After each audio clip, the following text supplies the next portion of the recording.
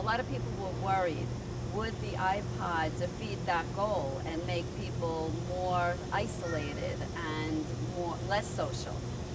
But we find that there is time for people to be by themselves in an institution such as this where you all have a roommate or maybe you have two roommates or three roommates that you need your own space sometimes and the iPod can give you that. You can put it on, you can listen, you can relax, you can get away from all of this, what comes from living in a community setting like this.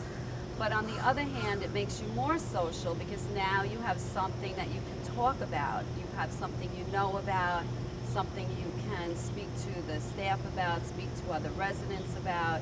You can tell people what you like, what you don't like. You can reach out into the community discuss it with your grandchildren, with your own children. It's something that everyone has. It's now you're a part of it. You're a part of the whole iPod phenomenon, as as it said. So